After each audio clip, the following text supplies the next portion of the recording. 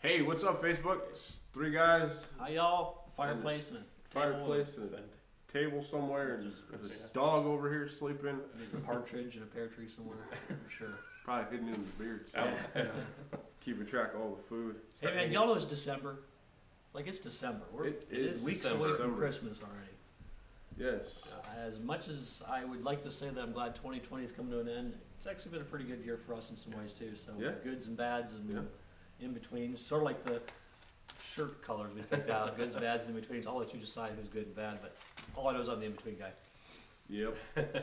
so, speaking of December, Yeah. I, I, you know me, I, I like facts and, and Mhm. those kind of things. So, I did a little research today, and, and it, this will Ah, come to this more will of a be cool. point in, in a little bit. Okay. But so, December, we don't always get the points, so this is a plus. Yes. De- December is, is a lot of things. Like you look up to, you know, some of them are crazy. But a few of my favorites were December is National Tie Month, like Oh, necktie, oh which we're gonna fail Yeah, that. I'm pretty yeah. sure we're not So- gonna do that. Do you ever wear a tie, Dale? um, I, I own a tie.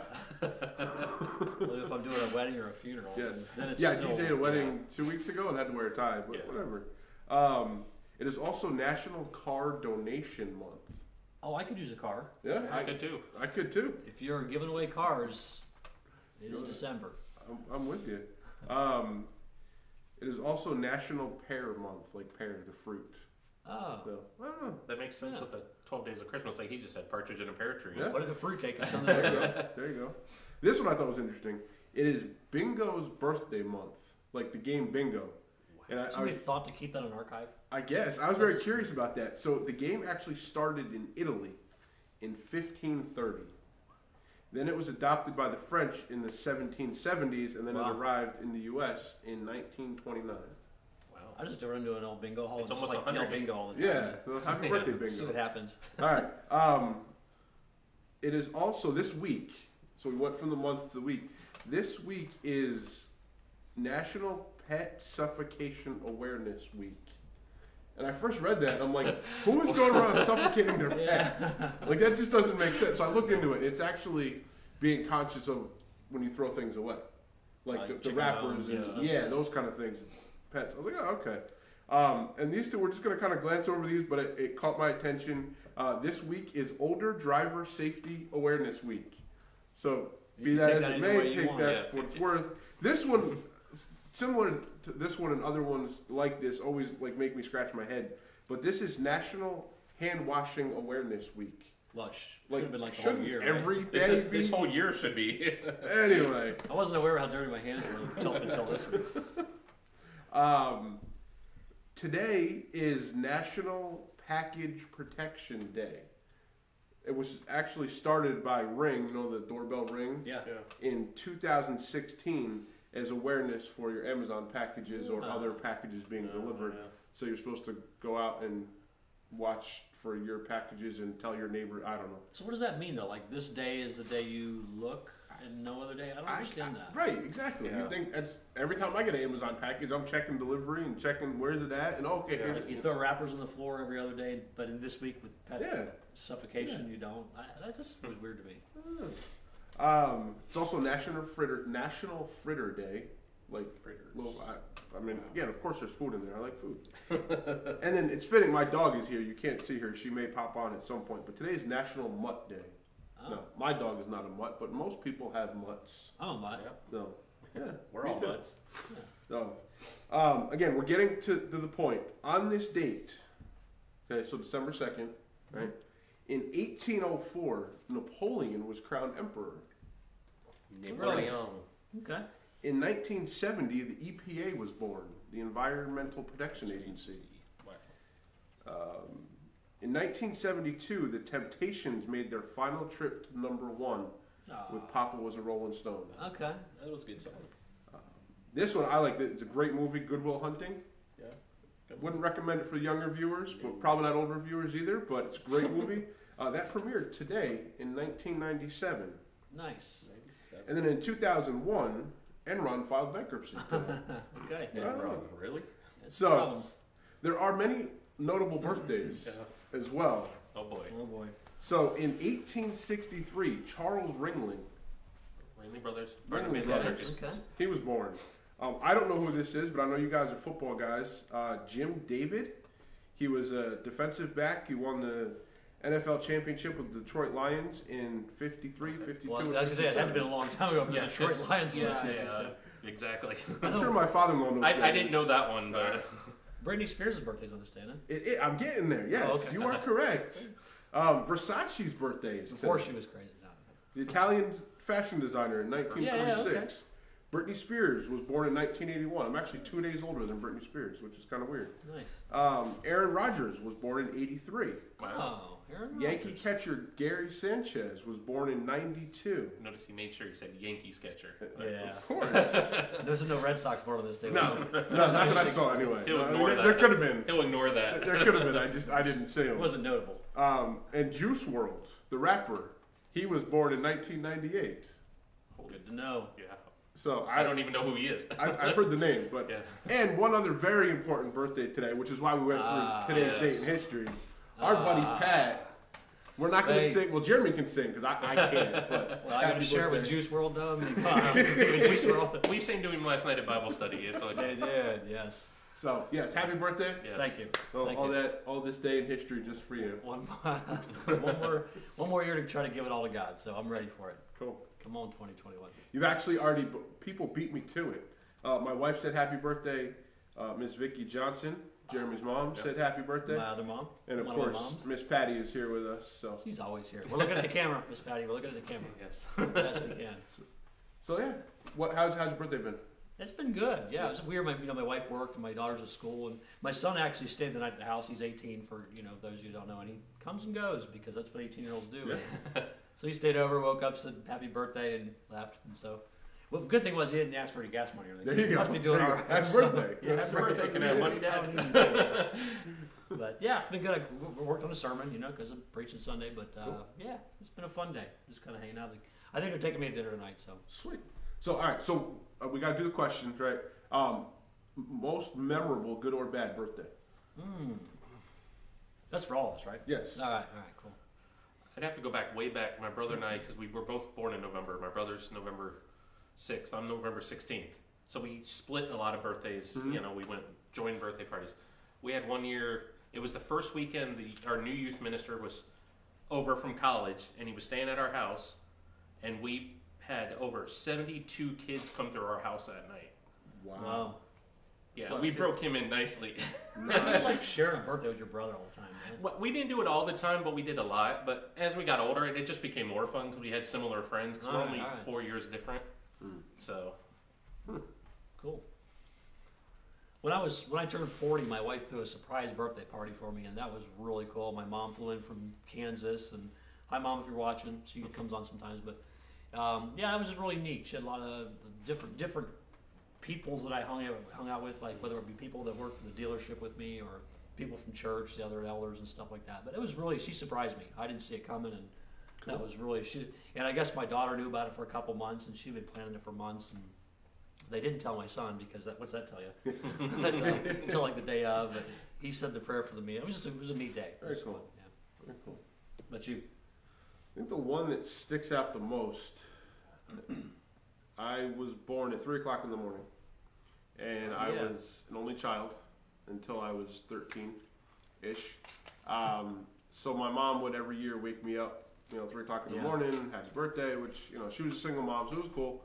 Until I turned sixteen, I think I was sixteen, and three o'clock in the morning, birthday comes, and I hear people singing in my bedroom and I look, and there was like eight people in my bedroom, Nice. and they had a birthday party for me at three o'clock in the morning. Which, wow, at Was- 16, you were looking for some sleep, weren't you? yes, That's it a was rude interesting. awakening. It was- but it's something I'll never forget. Yeah. So it was, you know, it was pretty cool. That was the last time we did the three o'clock in the morning thing.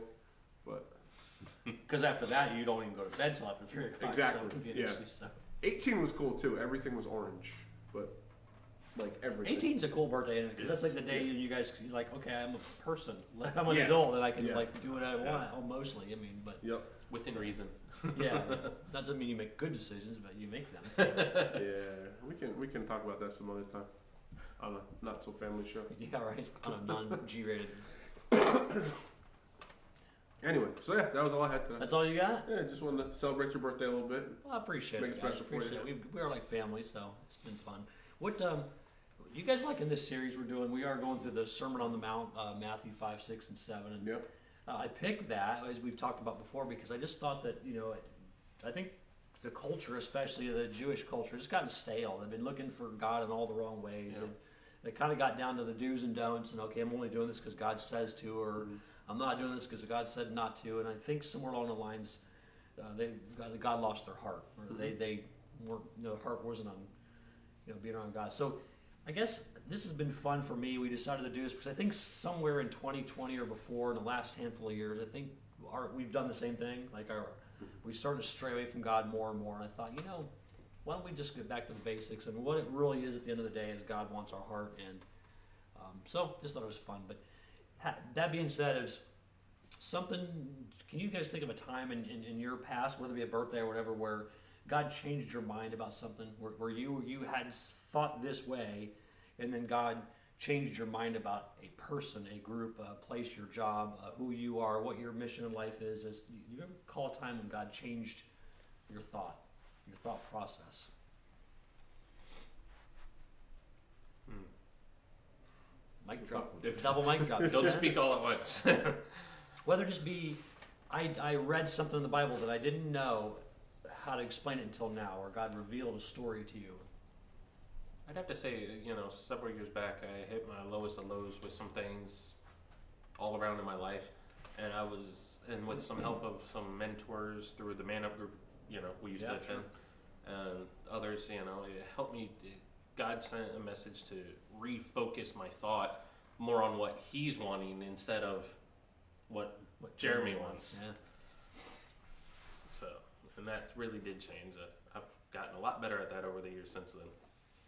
Yeah, guys, it's so important that we get together. I mean, we, you know, of course, we have small groups that meet on Tuesday last night, so we had the women kind of came upstairs in our new place, and we had a little heater, and, and we met around a campfire. But there's so much good that happens when guys and girls get together and just talk about life and share. And uh, you know, I've always described sin as, as like a black snake out in the yard, like a black snake or something.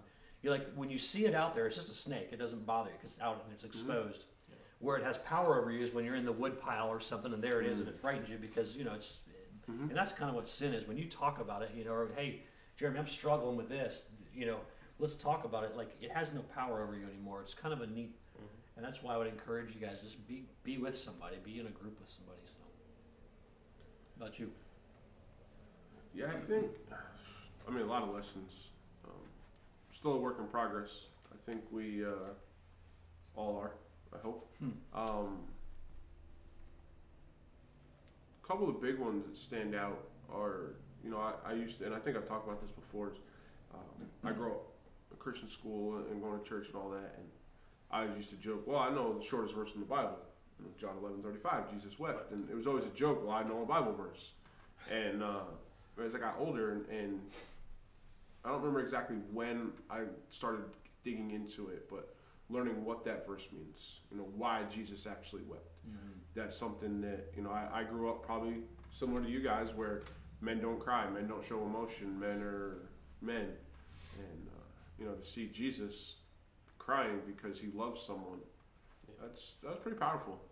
Um, you know and, and something else i've talked about i know is, is um, when i got a glimpse of, of how much god actually loved me you know the first time that like i had that picture was um, our youngest dylan marie was a week, maybe two old, and, and I could literally hold her right here in my arm. Um, she was that small. And uh, we were at a worship night in our church in New York. This was like a week or two before we actually left New York and came to Florida. And, um, I don't even remember the song we were singing, but we were singing about how, how much God loves us. And here I am holding my little newborn baby and just thinking, wow, if I love her that much, and I am such an imperfect person, I am such going to be a failure as a dad in many so many ways. Um, how much more, and I, and I love her so much, I would do anything for her, any of my kids. And how much more does God love me? Yeah, it's hard to imagine, and kids do that to you. Kids Yeah. are one of those things that definitely help grow you up and change how you view things. I think oftentimes that's one God's way of softening a man's heart, um, for sure. But if I told you guys my Job story before, about how I was wrestling with God about something about past and stuff in my life, and God says it was during prayer time. And you know, God doesn't he didn't, he didn't audibly come and sit in front of me with a burning bush or something, but you know, sometimes God just says He just drives you to Scripture. And I remember I was in prayer with God, and you know, you know we have things we've done in the past you struggle with, and uh, He kept saying, "Go to Job, read my read my book of Job," and I'm like. I've read the book of Job. I've had I've been to Sunday school, you know, I've, or I've done Job a million times. I know the Job story inside and out. And he's like, like I'm smarter than God, you know. He's like, son, go read the book of Job. And so we, we know the big picture story about Job, right? Where he, uh, God says, go to preach to the great city of Nineveh. And Job gets scared. He runs the other way. I don't want to go. And he gets on a boat, and the boat has a storm, right? And they throw him overboard eventually. And then a whale, you know, a great fish swallows him up. And for three days, and he repents. And You're saying Job and talking about Jonah. I'm sorry, Jonah. Yes, Jonah. I. Book of Jonah. Book of Jonah. Sorry. And so he's, he repents inside this belly of this great fish, and it spits him out. And then he goes and he preaches to Nineveh, and then they all repent and turn. And like the chapter four, he's mad because they did. It's like, why do you think God would send you there? Anyway, so he sits under a bush and sulks. But what you miss in that great first chapter is it says he gets on this boat. He's in the wrong direction, heading the opposite way, defying God. He gets on this boat and it says when he gets on the boat, all these guys had their own gods, or worshiping these idols and all this stuff. And then through this great storm process, they pitch Jonah over. The fish swallows, well, I mean, before the fish swallows him, the storm calms down right away. Mm. And it says that right then they all started worshiping the one true God. Mhm. So Joe, Jonah, not Job, Jonah's misstep, God still used to bring people closer to Him.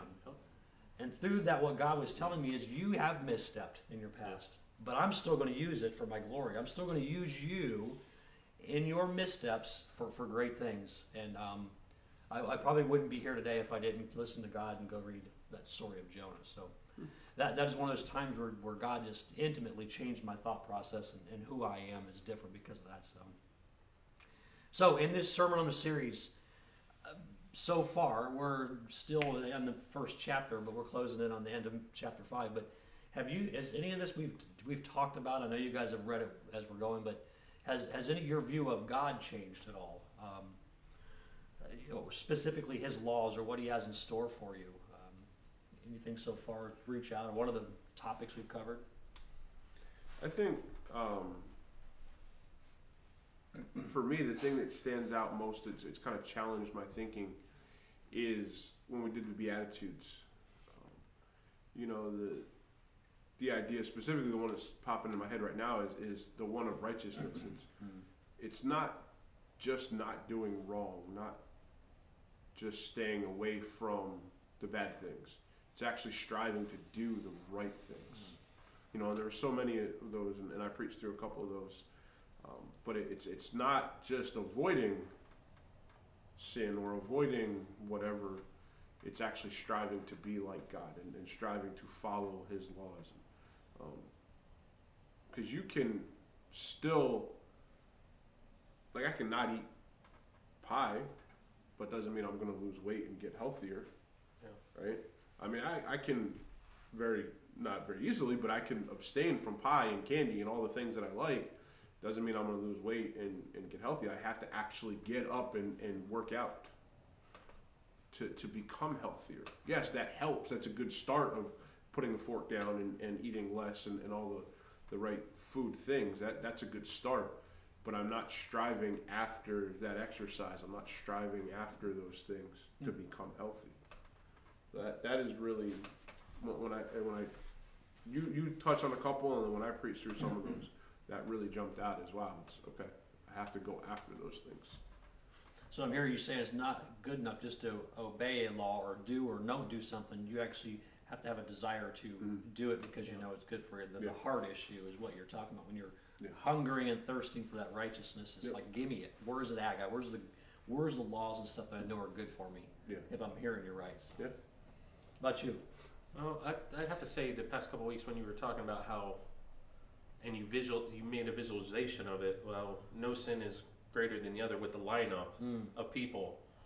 You know, I like the the way you illustration. did that was it just stuck out to me because, you know, no matter where you are on that line, you're on the same line. Mhm. You know, so it was just, it, I enjoyed that, and I saw even people's reactions in the crowd, you know, under the tent, and they just some people were shocked and surprised to hear that because you know some of us are quick to judge Sure. and throw others, you know, you without sin cast the first stone type of thing, you know. So we just got to Yeah. be careful, So but once you're a lawbreaker, you're a lawbreaker. He didn't say which one was the worst or the better, you know, Exactly. the good one to break or the bad one to break. So yeah, um, I think for me, studying this is really, you know, as I'm learning to preach, learning how to do this, I can look at how Jesus set this stage up. He started with the Beatitudes, mm-hmm. this great sermon, right? He starts with getting our attitudes in a spot where we're right, you know, and he, and he talks about persecution. Okay, when you guys make this decision, get your attitudes right. You're going to get persecution. And then he talks about who they are, the salt and the light of the world. You know, you guys are going to be my examples. And you know, he's kind of setting the stage, and so you can get a picture of you were saying this to the people on Sunday. You know, you guys are going to be the guys. Mm-hmm. Get your attitudes right. And he said, first of all, let me just get something clear. I'm going to say some some things you are not used to hearing, but I've not come to abolish the law. It's going to st- the law is the law. But let me tell you why. And then he kind of challenges this thing on murder and adultery we talked about two weeks ago, and we had our breakfast last week. I'll talk about that in a minute. But and then this week we're going to talk about uh, vows and divorce and, and uh, anger and revenge and stuff. And he, what he's trying to do is, you know, you guys are you, you're like you were saying, you're you're doing the laws and things, but your heart's in the wrong place. And what God really wants is a relationship with you. He doesn't want you to do things because he says to do them. He knows what's good for us. And so I can, Jesus paints a beautiful picture here uh, as he's going along, but he set the stage right, you know, early on. To, so uh, it's just been a neat, eye-opening experience to how great of a uh, message this actually had to be. If you were sitting there in the crowd or one of the disciples, you know, you've heard it said that if you look at a woman lustfully, you've already committed adultery. Whoa, yeah. hang on, but I thought I was a good guy because I never, you know, I, I, I never killed anybody, so I'm a good guy. But Jesus says, don't even be angry in a spot to where you have hatred in your heart. It's like, uh oh, Yeah. maybe I have broken a lot of those Ten Commandments I thought I was really good at, you know. Mhm. So Yeah. anyway, whether you like the holiday season or not, Oh boy. all right. what message do you hope that our church, Christ Family Christian Church, and its visitors and guests, what do you hope that they leave this place at the end of December, going into January, whatever? What would you like to have us be better at, or what? Where do you want us to be in a month? The sun, you see that? Yeah, you're you're washed out. You're, you're Um, the spotlight. I'm gonna talk from here, a little lean on. It's still a work in progress, folks. I apologize. We We'll get it figured out. last week the sun wasn't an issue. It went away. I don't know. Anyway, um, yeah. Whether you like the holidays or not, I wonder why you threw that statement. in. One of us doesn't like the holiday a lot. yeah, I, I'm I'm not a big commercial holiday person. Um, yeah, I don't know. I, I think I think the the hard part about this is it is such a big deal for so many people. Um, you know, and, and good and bad. You know, there's so many people at this time of year they're they're dealing with stuff. You know, what I mean, and, and I'm I'm no different. You know, there, there's there's family stuff, there's history, there's whatever, um, and that's okay.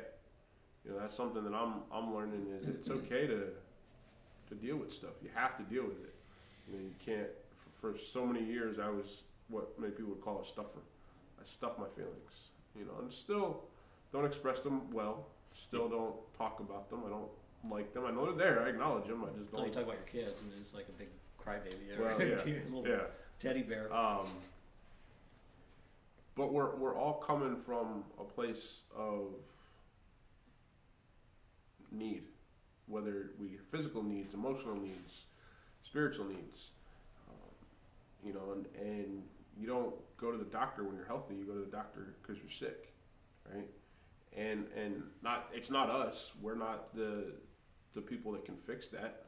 You know, we're hopefully we can help guide you in the right direction. Um, you know, so that's something that, that I think we need to focus on is is taking people as they are, um, you know, and help them see Jesus. You know, and again, it's not me. I please don't look at me. I'm a terrible example of that. Um, trying to be better, trying trying to let God, Jesus' light shine through me, but it's not always easy, but it, there's just a lot of lot of hurt and a lot of whatever, and uh, I think being able to point people to Jesus and say, hey, he's the one you need to look at. He's the one that you need to follow and and be like. It's kind of piggyback off that a little bit, uh, I'd say you know, and I was thinking about this. It's the you know, the message of hope that there is a way out. You know, you don't have to deal with it alone. You know, like he said, you know, you don't go to the doctor unless you're sick. You know, you come to church to help your spiritual sickness Mm-hmm. and get you know, and that gives you hope, and you know, and hopefully they'll see that they have people that care and love them, and because a lot of people are dealing with you know loneliness, whatever, especially during the holidays. So you know that there are people out there that are willing to be there Sure. with them, you know, go through it with life with them. Yeah. Well, you know, we always say that Jesus is the reason for the season. That's a really cool thing to say if you're just saying it. Do, Yeah. do you really believe it? And one of the things that I like about this, the, the holiday season is it does bring people together, um, families, extended families, and, and that being said, there's a lot of people, uh, you know, whether, whether through adoption or whatever the case may be, that are struggling with the fact that family isn't a great name. It's not a great word in their vocabulary, and there's uh, holidays bring about a lot of tough memories sometimes if lost of loved ones and that. And to me, I, I think if I would want to have one thing we all knew and got out of this is that we're all orphans because of sin. We have all sinned and fallen short of the glory of God. And because of his loving nature, because of Jesus, which is who we celebrate, he is the reason for the season, God allows us to be adopted back into a family. And so, whether your family uh, dining room table is going to have a lot of cool, long memories, a lot of traditions and family there, or not, there's a there's a big one waiting for us because of Jesus, and, and God's got a special chair there for you, and He's called us His own again because of this season. So we say that Jesus is the reason for the season, but do we know what that actually means? Do, do we know that, like, we get to celebrate in heaven every day, one day, because of that, that birth of Jesus, His decision to go into His own creation to save us. I mean, Easter's my favorite because that's the deal. I mean, we, Mhm. we're Christians because of Easter, but without Christmas, there is no Easter. So, anyway, that's my thoughts. I hope you guys, uh, you know, enjoy the rest of this series. Um, I'm gonna, I'm gonna, like, hang out here in the light for a while and put my sunglasses on. Yeah, sorry about that, Pat. That's a work in progress. We'll figure it out one of these days. Hang on. There he goes. No, that's all you need All right, to do. I can Now, do now they can see your eyes There at you go. least. That's right. I can see you. Now you can see. now you can see. Yeah. But yeah, so we're we're still here. We're still under the tent. It uh, hopefully it warms up a little bit more than it, it is today on Sunday. But Yes. whatever. It's we're under a tent. We expect to be dealing with the elements. But uh, yeah, we're here at ten thirty. Right here in our building. Our building is still under construction. Will be for for some time. But please don't let that stop you from coming out.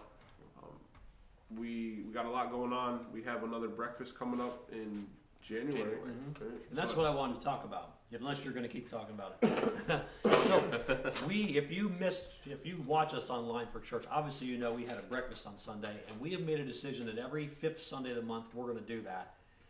That is mostly for the idea of inviting people to breakfast. A lot, a lot of times you say, "Hey, can you come to church with me on Sunday?" It's kind of like, uh, I got this weird idea of church, and it's sometimes uh, wh- wh- whatever the reason, whatever the negative thoughts about church are, we're trying to break that barrier down. So you can just come have breakfast with us, and we uh, just give our volunteer, uh, some of them, some of the volunteers get a break. We don't, but uh, you know, like the band and stuff. But uh, but the the purpose of that is we sit at tables, um, socially distant as best we can, and just talk, meet somebody new, and just get to know each other because it's hard to do on Sundays. You know, sometimes with all the stuff going on and. It's just hard to get to know each other, but that is so you can invite your neighbors to breakfast and not Mhm. church. And so, yes, in January we're going to do that again. Man, I hope y'all can come. We, you're invited. You, from us three, you are personally invited to breakfast at the last Sunday in January. Yep, you can find that on Facebook, all the information. Uh, we'll make a big deal about that as it gets closer. Um, Pat, you got a couple more birthday wishes. Miss Patty said happy birthday. Becky, Miss Becky said happy birthday. My wife said it's gonna be 73 tomorrow. which is awesome. Let's talk in a little better language. It's supposed to cool Thank down you, again guys. this weekend though. But uh, yeah, so 10:30 Sunday mornings. Again, we're still live streaming our services on Facebook. Uh, for those of you that are out of the area, we know we cover like three or four states now, which is pretty cool. I know I have family in New York that watches. You have family in Kansas Yeah. and Wyoming that watch. Um, and isn't there another one out there? I don't know. Anyway, so we still we'll continue Bora as, Bora? as long as No, I don't even. Not Bora Bora. te- I don't know. But if you're watching from there, I- I'd like to be part of the family. As long as technology is a thing, we will continue to live stream the best we are able. And again, it's it's weird under the tent, it's temporary under the tent, but we still trying to make it the best we can. So if you have suggestions or you see something, or we're not looking at the camera or whatever, uh, please go ahead and put the comments in, post comments or, or send us an email. We want to get better. We want to um, help you guys have the best experience online as possible. And of course, live we are here at 10:30s underneath the tent behind the building. Um, bring a jacket, bring a blanket, bring a fan. We never really know what to Lawn expect. chair, yeah, bring a lawn sunglasses. chair, whatever. Um, we we just got a few more chairs. We got a few more tents. We to, have enough chairs. to, to spread out. Um, we still got plenty of activities for the kids, even though we don't have kids services yet. We probably won't have kids services while we're under the tent, but we, we have some volunteers that work very hard at putting the kids package together so the little ones have something to do and they have a snack. And uh, we have coffee. I hope this week is gonna be a little chillier, so hopefully We'll coffee. have If coffee, not, hot there's always chocolate. water. Whatever. I don't know. I'm just making We will things have up at coffee. this point. Um, other than that, yeah, check out the website. Any information that you need to know, uh, our contact information is also on our website, cfcc.church. Uh, you can reach us there. All our old sermons are there. They're on YouTube, uh, on Instagram, everything except YouTube, cfcc.church. YouTube is still there, hanging on. But uh, I think that's that's all we got. Um, yeah, Christmas is coming up. We want to talk about that, or is that next week thing? We'll talk about it next week. All right. So stay tuned for a special-ish announcement about. We do have Christmas Eve services, if that's what you're That's talking what I meant, about. yeah. yeah, We have two Christmas Eve services. As of right now, they're four o'clock and five thirty.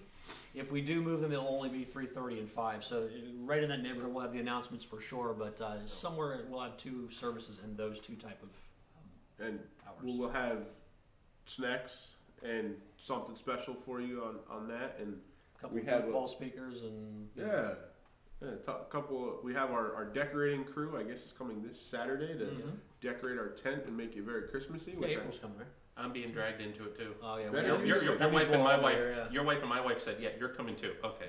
if it was me, I'd get a Charlie Brown tree and pop it on the stage and plug it in, and there you go. That's decorating for Christmas, as far as I'm concerned. There's nothing wrong with that tree. which is why I don't decorate for Christmas. I am, admittedly, the Grinch and Scrooge all wrapped into one. But it's all about Told you, Jesus. he was the. We still love you, Dale. oh, yeah. I, anyway, um, yeah, that's about all I got. Pat, you want to close the prayer? I do, I do. Heavenly Father, thank you so much for this day. And uh, birthdays or not, God, I know you're in charge of them all. And cold days or warm days, you're still the King of Kings and the Lord of Lords. And so we just ask you uh, guide over us this this holiday season. If you don't come back this month, God, I ask you to work through us and with us to uh, make your name mighty again in this place.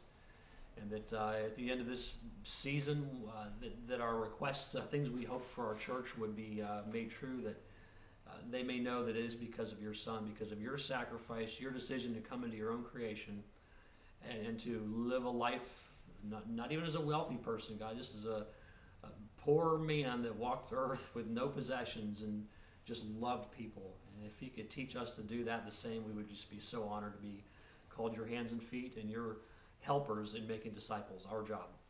We pray all this in Christ's name. Amen. All right, guys.